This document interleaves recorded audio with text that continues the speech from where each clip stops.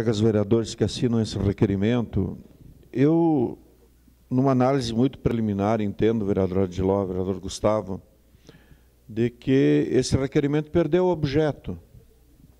Na medida em que houve a, de, a definição com relação a definição com relação à questão da região da uva e do vinho, região das hortênsias, é, ele perdeu o objeto. Não sei se os vereadores querem insistir em manter essa convocação, acho totalmente inócua.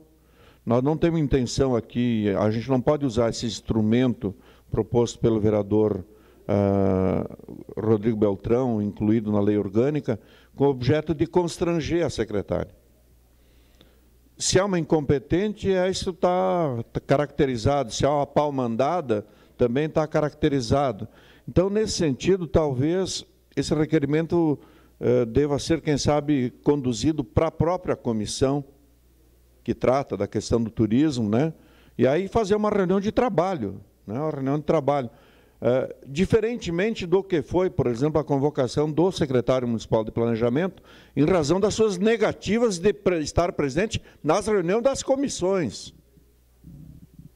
E foi diferente a situação, né? completamente diferente. Né? De, de não, não mandarem representante uh, ou irem lá e não simplesmente não falar absolutamente nada. Mas eu quero dizer que na Comissão de Desenvolvimento Urbano, Transporte e Habitação, em alguns momentos nós fizemos reuniões muito boas com diretores do SAMAI, com a Secretaria do Meio Ambiente, tá? com a Secretaria de Urbanismo, aqui já discutindo outros projetos e tal. Então, isso não é uma regra geral, tá? não é a regra geral. Então, a minha sugestão, vereador Adiló, é que esse requerimento fosse conduzido para a própria Comissão de Educação, Turismo, Desporto e não sei mais o quê, e, e, e por conta da perda do objeto. Né? É, eu, com todo respeito, se os senhores entenderem de manter, vou votar favorável. Permite uma parte, vereadora Vou votar favorável, mas acho que ela perdeu o objeto é, do ponto de vista do objetivo inicial né, da convocação da secretária. Pois não, vereador Gustavo. Vereador Eloy, basicamente pontual, né, isso nós fomos cobrados pela comunidade, né? Isso foi um acerto, inclusive, das três comissões procederem a isso. O vereador Edson está sendo cobrado, inclusive, por lideranças da comunidade, me telefonou e nós elaboramos isso. Então, nós entendemos que, de maneira alguma, esta Casa Legislativa, até foi o meu pronunciamento aqui, nós queremos constranger um agente político da administração.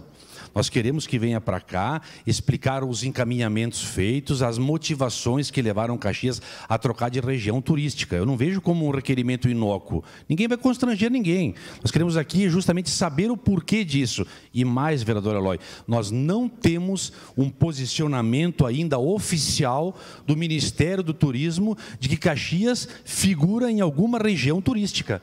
Esse é o nosso maior medo neste momento, de ficar fora do mapa do turismo brasileiro. Nós precisamos saber, né, ter essa informação. Temos hoje pela imprensa, temos uma matéria do, da Secretaria de Desenvolvimento e Turismo do Estado dizendo que vai enviar isso né, ao Ministério, mas nós não temos indo isso ainda de forma oficial e cabal.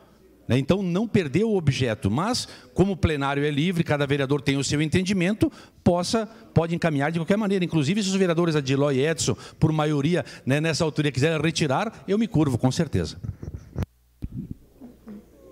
Pois não, vereador Gustavo. Não, absolutamente não quero lhe contrariar.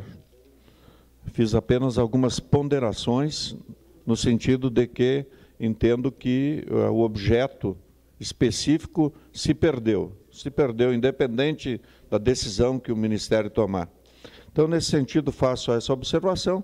Se os vereadores entendem de manter o requerimento, votarei favorável, sem problema nenhum, mas uh, acho que será totalmente inócuo. Era isso, senhor presidente. Muito obrigado. Vereador Renato Nunes.